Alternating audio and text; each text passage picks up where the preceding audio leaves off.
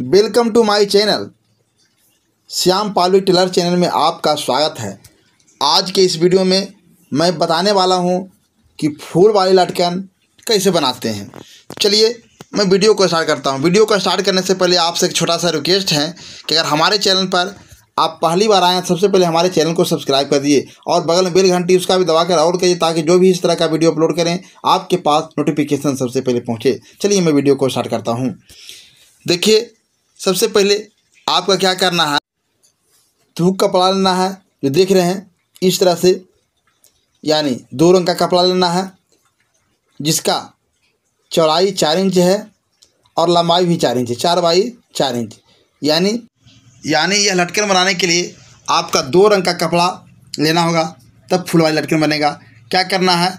एक कपड़ा को क्या क्या, दोहरा करना है, दोहरा करने के बाद फिर एक बार और मोड़ देना है। अब मोड़ने के बाद आपको क्या करना है? कपड़ा जो देख रहे हैं, कपड़ा का दूरी। देख रहे हैं, यानी यहाँ से यहाँ दोनों कपड़ा के बीच में चिन्ह दे देना है। चलिए, बीच में कपड़ा को चिन्ह देते हैं। और ये तरह भी यहाँ से बीच में चिन्ह देते हैं। और दोनों बीच में देने के बाद हम यहाँ से गोलाकार गोलाकार चिन्ह पारते देख रहे हैं। इस प्रकार से आपका भी गोलाकार चिन्ह पारना है। जिस तरह से हम चिन्ह पा रहे हैं, इस तरह से गोलाकार पार देना है। अब पारने के बाद क्या करना है? अब क्या करना है? कैंची से इसको काट देना है। चलिए हम कैंची से इसको काटते हैं। देखिए, इस प्रकार से आपका कैंची से काटना हुआ जिस प्रकार से हम गोल काट रहे हैं, इसी प्रकार से आप भी कैंची से गोलाकार कपड़ा को काट दीजिएगा। देखिए, गोलाकार हमने कपड़ा को क्या किए हैं? काट दिए और काटने के बाद इसको खोल के दिखाते हैं। देखिए, किस तरह से देखिए, यह फूल बन गया। अब क्या करना है इसको? इसको देख रहे हैं कपड़ा पर रख करके रख करके चारों तरफ़, जिस तरह से फूल बना हुआ है, उस तरह से चारों तरफ़ इसको सिलाई करना है। चलिए अब क्या करते हैं? इसको अब सिलाई करते हैं। देखिए, इस प्रकार से रख करके और चारों तरफ़ जिस तरह से डिज़ाइन बना हुआ है, जिसमें कटिंग कटा हुआ है, उसी तरह से चारों तरफ़ इसको सिलाई मारना है। देखिए, इस प्रकार से आपको सिलाई मारना, जिस प्रकार से सिलाई को हम मार रहे हैं, उसी प्रकार से आपका मारना है। देखिए इधर उधर ना हो, एक चाँप ले करके और चारों तरफ़ मारना है। ज़्यादा नहीं, एक चाप बराबर लीजिएगा आपको, एकदम गोलाकार बनेगा फूल। जिस तरह से मार रहे हैं, देखिए, घुला घुला करके आपको भी सिलाई को मारना है। चलिए, हम घुला घुला के सिलाई को मारते हैं। आप भी इसी प्रकार से सिलाई को मारिएगा तो आपका बहुत सुंदर फूल जो कि बनकर तैयार होगा।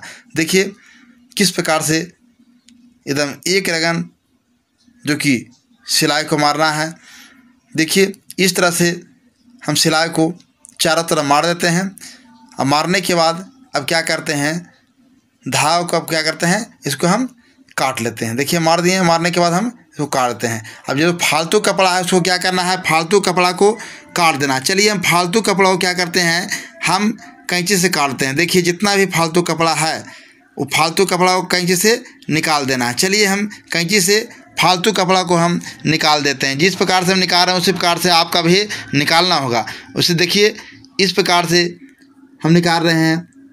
चारों तरफ़ जो भी फालतू कपड़ा है, उसको काट देना है। अब क्या करना है? चारों कोना में कटा हुआ उसको खुटका लगाना है। देखिए, चारों कोना में हम क्या करते हैं? खुटका लगाते हैं। और खुटका लगाने के बाद चारों तरफ़ थोड़ा थोड़ा गोलाकार में खुटका लगा देना है, ताकि उलटें तो को बैठाने में आसान हो। इस तरह प्रकार से चारों तरफ़ हमने खुटका को लगा दिए। देखिए, खुटका हमें लगा दिया। खुटका लगाने के बाद क्या करना है? अब इसको बीच में मोड़ कर पकड़ना है। देखिए, इस तरह से पकड़ना है बीच में। देख रहे हैं, दोनों तरफ़ से कपड़ा को खींच लेना है। और खींचने के बाद इसको बीच में क्या करना है? कैंची से इसको थोड़ा सा काट देना है। चलिए, हम क्या करते हैं? कैंची से काटते हैं। और काटने के बाद अब क्या करेंगे? जो तरे वाला कपड़ा है, उसको ऊपर को खींचेंगे। इस प्रकार से खींचना है, जिस प्रकार से हम खींच रहे हैं, उस प्रकार से खींच करके और कपड़ा को क्या करना है? उलट देना है।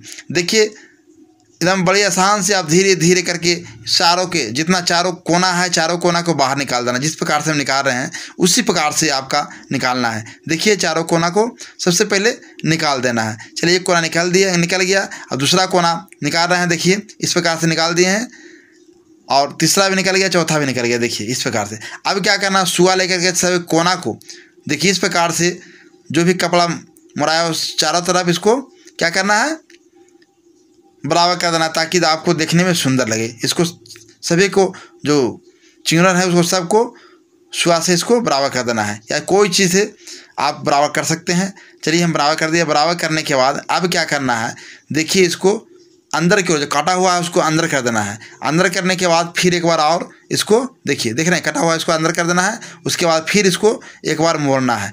अब मोड़ने के बाद क्या करना है, बीच में थोड़ा सा छेदा कर देना है कमने कैची से कोना को काट देना है। चलिए हम काटते हैं। काटने के बाद देखिए, एकदम थोड़ा छोटा छेदा हो गया। देखिए, उस तरफ़ से देखिए, दिखाते हैं।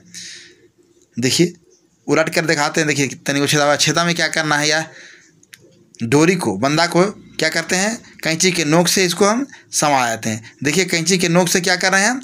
इसको हम समा रहे हैं। चलिए हम इसको समा देते हैं। और समाने के बाद क्या करेंगे? इसको नीचे कर करके देख रहे हैं। इसको इस तरह से दिया हुआ चिन्हा चिन्हा के साइड से कर करके और इसको यहाँ पर रख देंगे। और रखने के बाद क्या करेंगे?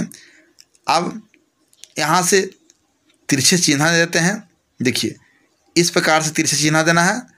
यहाँ से डोरी तक और डोरी से फिर यह तिरछा चिन्हा देना है। दोनों तरफ़ तिरछा चिन्हा दे दिए। और चिन्हा देने के बाद आप सिलाई कर दें। तिरछे, जिस तरह से चिन्हा दिए, उसी तरह से तिरछे सिलाई कर देना है। चलिए अब क्या करते हैं, इसको हम वहाँ से लेकर के डोरी तक हम सिलाई करते हैं। यहाँ सिलाई कर दिए। अब यहाँ सिलाई करने के बाद, अब क्या करना है, यहाँ से फिर तिरछे कर देना है इस तरफ़ तिरछे कर देना दोनों तरफ़ तिरछा तिरछा कर देना है, ताकि आपको आराम से बैठ जाए। देखिए, इस तरह से सिलाई कर दिए तिरछे।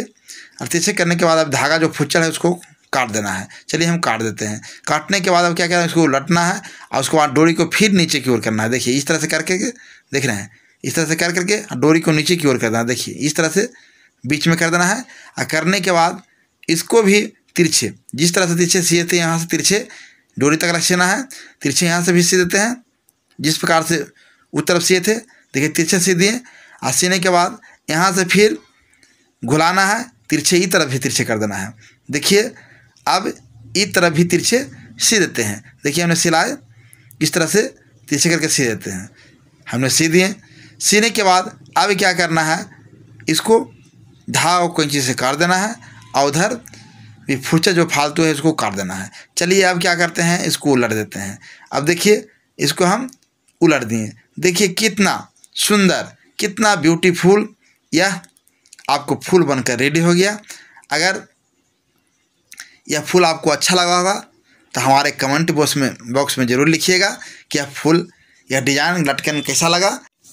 देखिए, कितना सुंदर, कितना बेहतरीन जो फूल लग रहा है, डिज़ाइन लग रहा है लटकन के डिज़ाइन। इस प्रकार से आप एक फुलाव बना सकते जिस प्रकार से यह लटकन को बनाएँ। उसी प्रकार से एक लटकन और बनाइएगा। दो लटकन जो लगता है, दो लटकन बना लीजिएगा। देखिए कितना ब्यूटीफुल कितना फेब्रिक सुंदर लटकन लग रहा है। चलिए इसी के साथ हम यह वीडियो को समाप्त करते हैं। जय हिंद, जय भारत बंदे मातरम। अब मिलेंगे अगले वीडियो